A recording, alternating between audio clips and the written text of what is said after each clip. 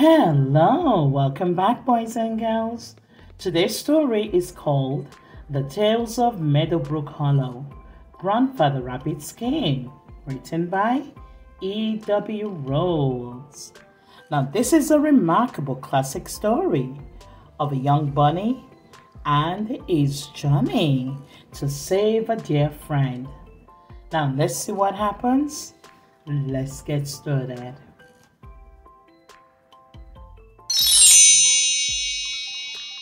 Who wants to get some carrots? Alex hollered, twitching his nose and climbing to the top of the rabbit hole so that he could peek into the garden.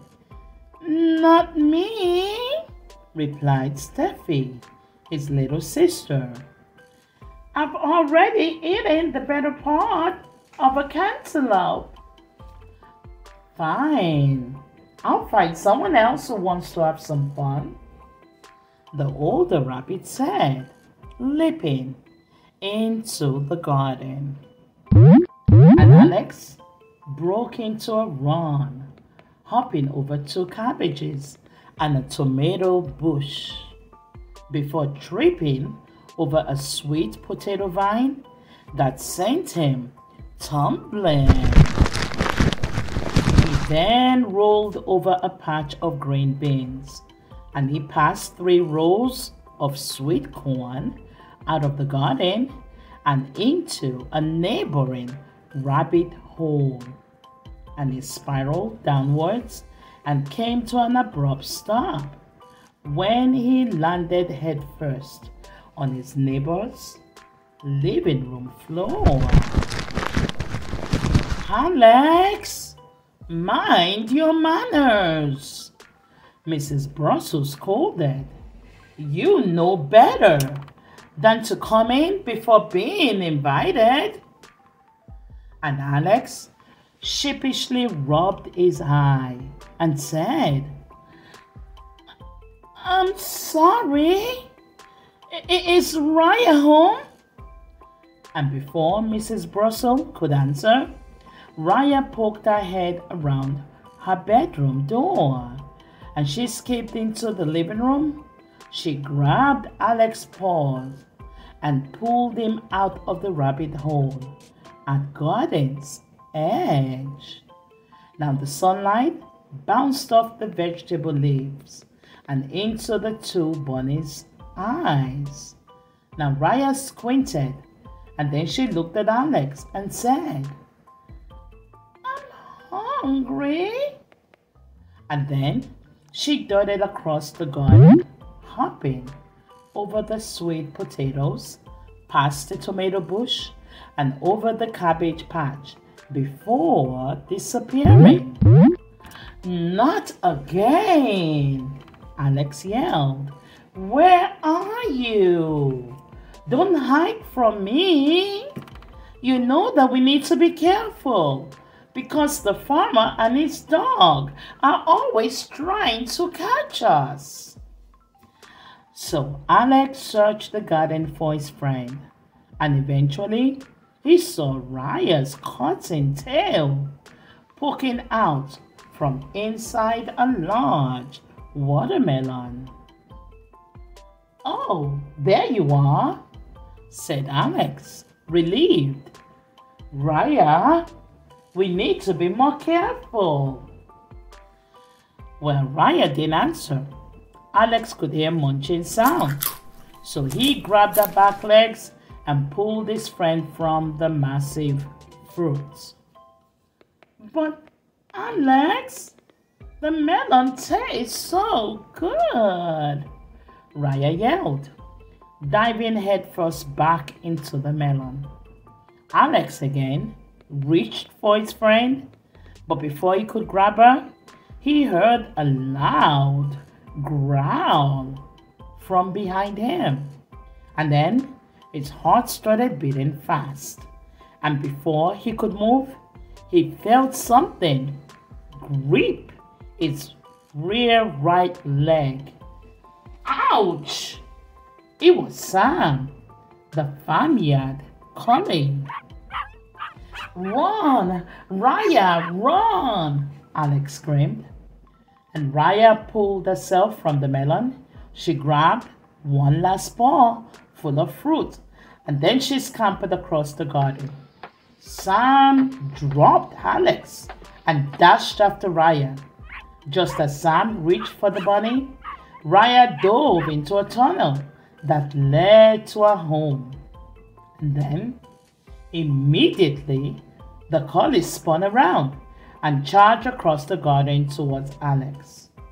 Now, Alex raced through acres of soybeans, an enormous field of rye, and across a small pond. Now, he was so scared that tears sprang from his eyes as he darted between the cows and sheep grazing in the pasture. And finally, the chase was over, and the collie had trapped the small bunny against the back of a big red barn. And Sam slowly stepped towards Alex, stretched his mouth wide open, and just before Sam's sharp teeth clamped closed, Alex was pulled by the ear between two loose boards and into the barn. And the collie lunged forward and poked his nose inside the barn and then snapped his teeth. Now, Alex was far from the dog's reach. However, and Sam was too big to sleep between the boards. Ah, thank you very much, said Alex, turning around and smiling at the large hen who had saved him. It's not over yet, the hen squawked. And Alex turned and saw Sam charge through the sliding door at the front of the barn. And with a swoop of a beak, the hen snatched up the small bunny and tossed him into a nest. And then she hopped onto the nest and clucked loudly at the collie. Sam circled the fat hen, baring his teeth and growling. And then Farmer Groucher heard the ruckus, and he scurried into the barn and yelled, Sam, get out of there. Leave them birds alone. And Sam whimpered and scrambled out of the barn. The farmer chased after the dog, swinging his pitchfork. Now, after a few moments, the hen sprang from a nest. Ah, are they gone? asked Alex. Sam won't be back for ages, the hen replied. But Groucher will be back this evening to feed us. To feed you? the little rabbit asked. You ask a lot of questions. The hen clucked. I'm sorry, Alex apologized. This all seems strange. A farmer feeding animals? Why wouldn't a farmer feed animals? The hen asked. Well, Farmer Groucher had never fed me, the bunny said. In fact, whenever he sees me eating his fruits and vegetables, he tries to shoot me. You're an odd little fellow, the ant said. Who are you anyway? I'm Alex, the bunny replied. I live on the far side of Meadowbrook Hollow at Garden's Edge, next to Farmer Groucher's garden. And who are you? I'm Myra, the wisest of all the ants, the large bird boasted. You won't be for long, a younger hen squawked. Groucher says He's fixing to have you for dinner. Admira turned to the smaller bird, and she pecked her sharply on the head and warned, Get back to your nest, Kayla. What does that mean? Alex asked. Well, farmers raise hens either for eggs or for meat, Myra explained. And when an hen gets older and isn't able to lay many eggs, farmers think they aren't worth their keep. Huh. How many eggs do you lay? Alex asked. Well, usually two a week, the hen replied. But I'm good at fooling Groucher. I open a younger hen's nest when no one is looking, so that Groucher thinks I laid someone else's egg. You get caught. You get caught. Kayla squawked from a nest. You better watch out. Watch yourself, Kayla. Myra warned. I heard Groucher complaining that there's no money in eggs anymore. He says that if things don't change, he's getting rid of all of us. And there won't be an end left in Meadowbrook Hollow.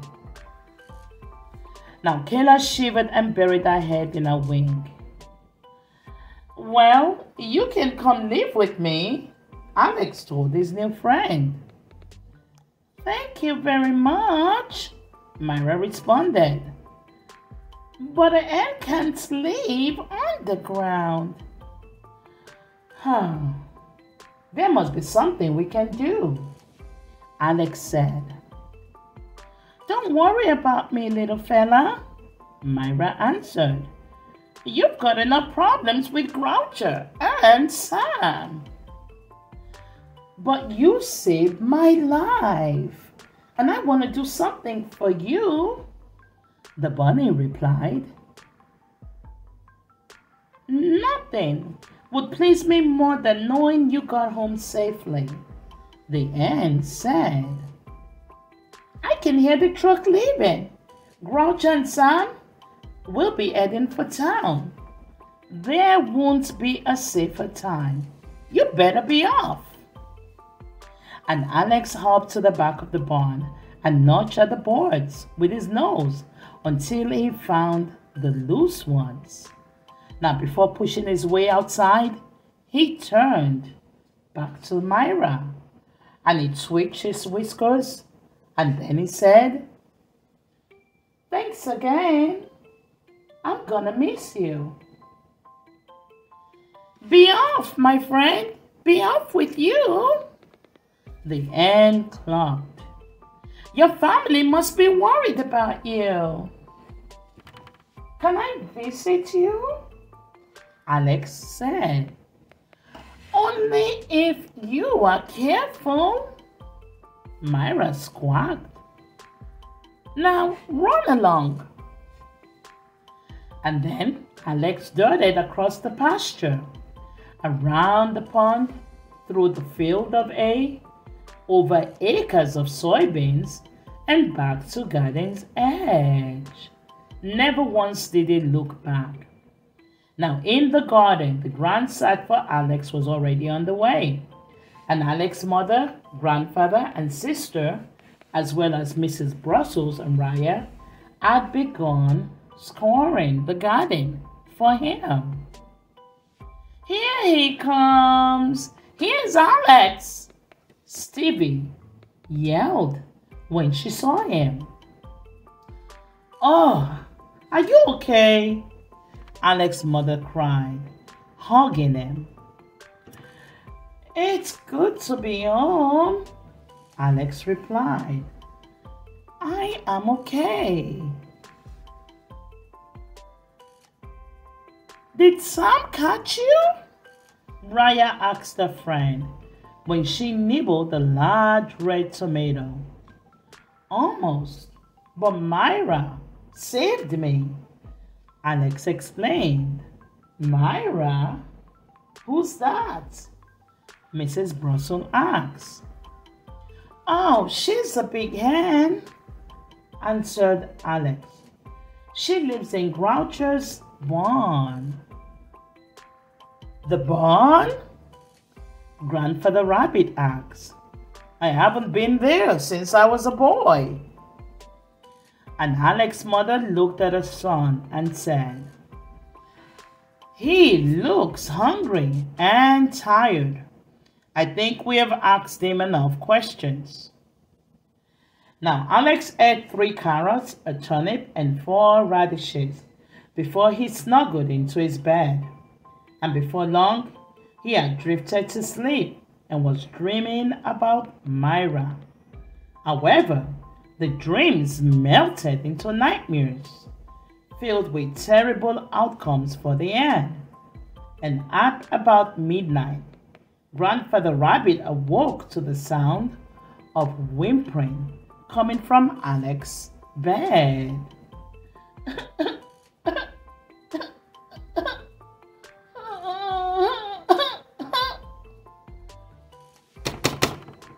What's wrong, little fella?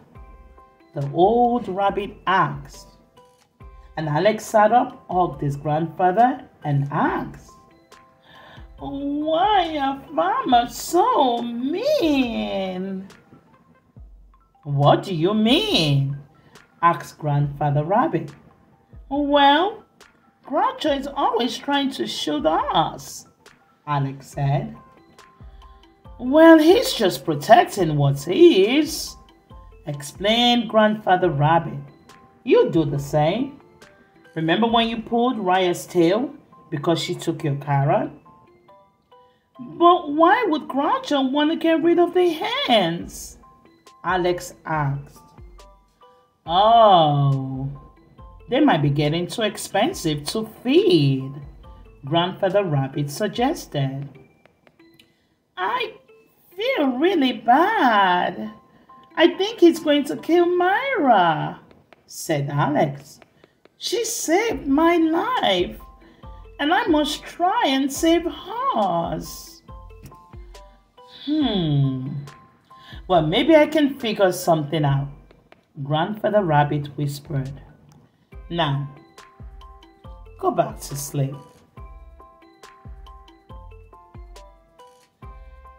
Have you come up with a plan yet? Alex asked his grandfather. It was the next morning, and his grandfather was pacing around the garden. I've got no idea, his grandfather replied. But we're gonna need help. Now, Stephen and Raya will help, Alex responded. Go fetch them. Grandfather Rabbit replied, taking a bite of melon. Now the old rabbit was settled on a head of cabbage when Alex, Stevie, and Raya climbed out of the tunnel and led from the Brussels home and into the garden. We're ready, Stevie shouted to her grandfather. Now, get me two big watermelons, four honeydews, eight cornstalks, 20 feet of grapevines, and a pointed carrots. Grandfather Rabbit said to the bunnies, Yippee! We're gonna have a party! Raya exclaimed. Mm, they're not to eat, the old rabbit scolded. Now, hurry along. And then the bunnies bustled about, gathering the supplies before returning to Grandfather Rat. I'm hungry, Raya whined as she dragged the cornstalk across the garden. Wonderful! Now I've got the perfect job for a hungry bunny, said Grandfather Rabbit. Now you can split the watermelons in half and hollow out their inside. That should fill you up. So Raya dove on the larger of the two watermelons and began feasting on it. Now Stiffy and Alex dragged 20 foot long pieces of grapevine over to Grandfather Rabbit, who was sitting by a pile of cornstalks, honeydew melons, and watermelons. Yes, just what I need, the older rabbit said, taking one of the pieces of vine. He then connected the honeydew to a cornstalk. Is that a melon sickle? Raya asked. No time for foolish questions, the old rabbit said as he wrestled a watermelon half between the two cornstalks. Now, come on, give me a hand.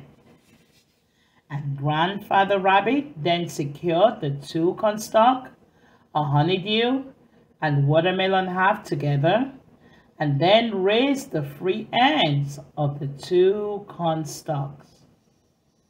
It's a wheelbarrow, Alex hooted. Oh no, the old rabbit replied. It's a melon barrow.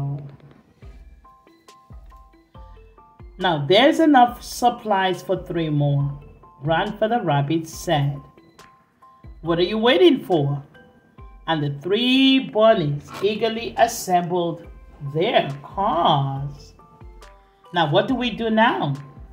Stevie asked when they were all completed. Everyone, pick up a melon barrel, Grandfather Rabbit instructed, and Alex will lead the way. Alex rolled his melon barrel to the edge of the garden, made sure that Father, Groucher, and Sam were nowhere to be seen, and then looked at his grandfather and the two bunnies and commanded, Follow me. And he led Stevie, Raya, and Grandfather Rabbit in single file through the soybeans, the field of hay across the pond, and finally through the pasture. Now it was early evening when they reached the back of the big barn. How do we get in? Grandfather Rabbit asked. And Alex found the loose barn boards and pried his way into the barn. You two, wait here, the old rabbit told Stevie and Raya as he followed Alex. Now Grandfather Rabbit and Alex tiptoed to Myra's nest. We came to save you, Alex whispered. You know I can't live on the ground, Myra reminded him. Now, who said anything about living on the ground? Grandfather Rabbit asked. Tell each of the ants to roll their eggs to the back of the barn. Why? Myra questioned. Just do as I say, Grandfather Rabbit demanded. We don't have much time. Now, after arguing with Kayla, Myra eventually convinced all the ants to give up their eggs. And one by one, they each rolled their eggs to the back of the barn. And one by one, Alex and Grandfather Rabbit passed each egg to Stiffy and Raya, who carefully set them in the melon barrels. Now, when the last egg was passed and the melon barrels were full, Myra asked, What now? Trust me, said Grandfather Rabbit, and he raised the cornstalk handles of his melon barrel and then followed the three bunnies on the long trek back to the garden. Now, Alex's mother and Miss Brussel were anxiously waiting in the garden when Grandfather Rabbit and the bunnies arrived with the melon barrels filled with eggs. Do you think we have enough time?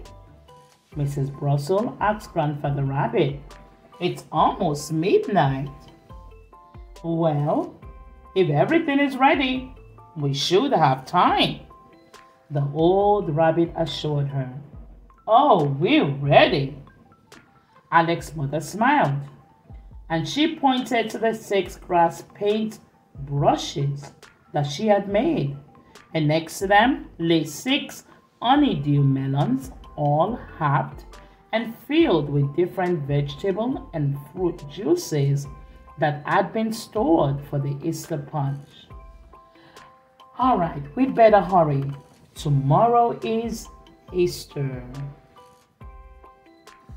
Now, Raya grabbed a honeydew melon and began to gulp down the juice. Stop!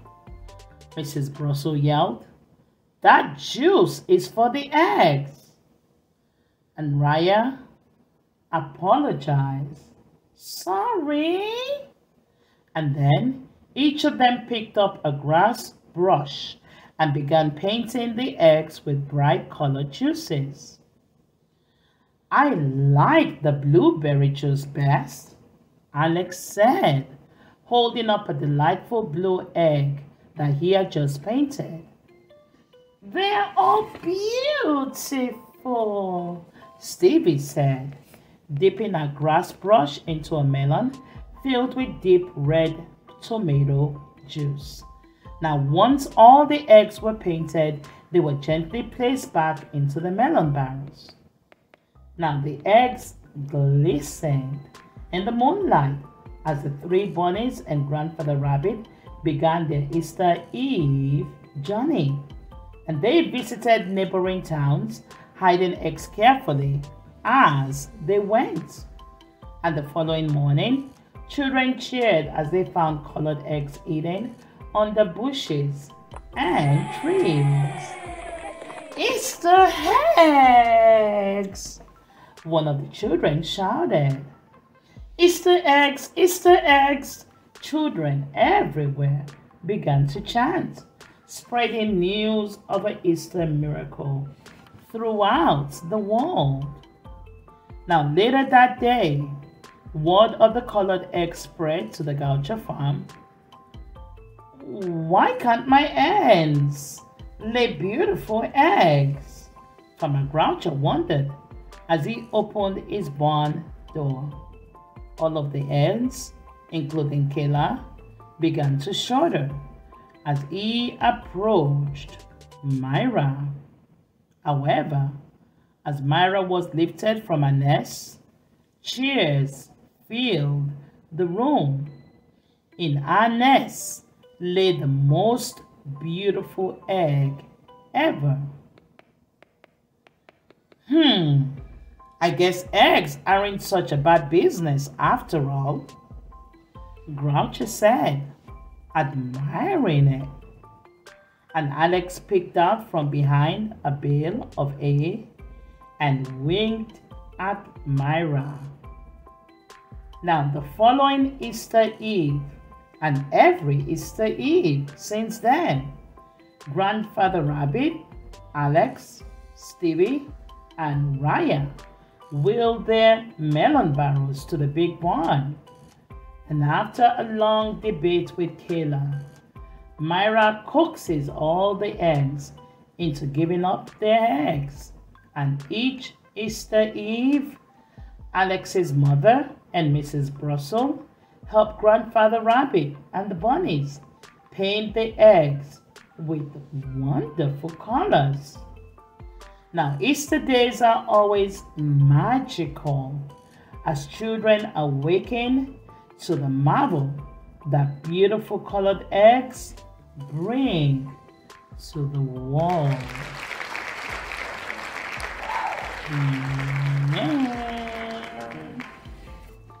Wow, what a wonderful, beautiful story. Thank you so much for joining us, boys and girls. For this story time, we thank you for being here. Thanks for watching. Don't forget to like, share, and subscribe to our YouTube channel. We'll see you soon.